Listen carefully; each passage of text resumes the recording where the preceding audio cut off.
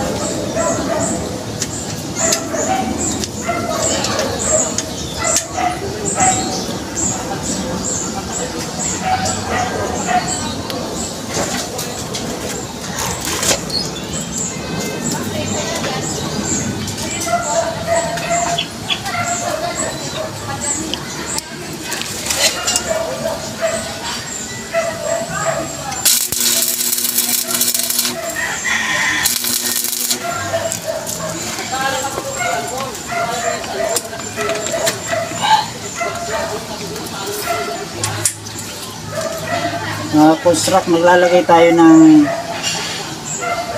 spacer para yung cylindrical hindi dumikit sa bakal para pag binuksan hindi sasabit.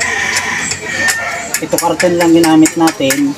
Matigas naman ito kaya hindi naman uh, nababago ang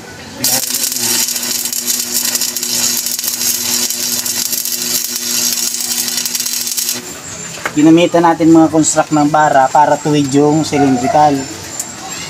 Para hindi magkontrahan siya pag binuksan. Yung mga construct.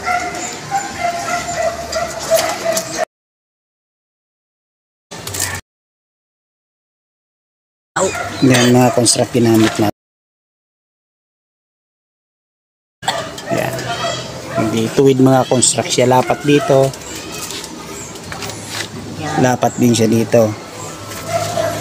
Hindi pumipilipit mga construct pag binubuksan.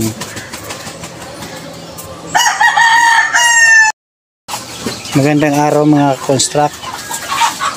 At tips po ito sa mga baguhan na nagkakabit ng bisagra. Mga construct mga baguhan nagkakabit ng bisagra para mamintin ninyo na ang bisagra o nasa hulog pag ikinabit nasa linya ang gagawin ninyo ah, kung wala kayong tuwid na pambara lagyan ninyo ng tanse as pwedeng sentro o pwedeng gilid.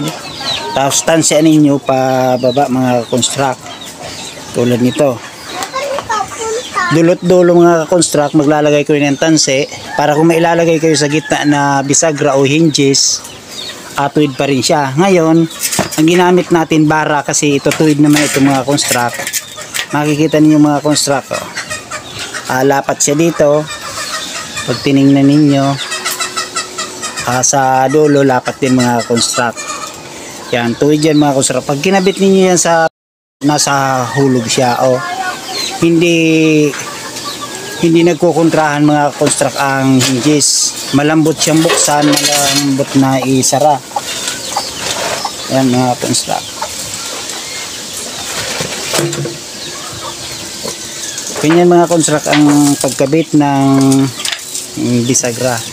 Mga construct kung may natutunan kayo sa video ito huwag pong kalilimutan na yung hindi pa po nag-subscribe paki-subscribe at paki-like na rin po at paki-share na rin po paki click na rin po ang notification bell para updated po kayo sa lahat kong mga video. Maraming salamat po. God bless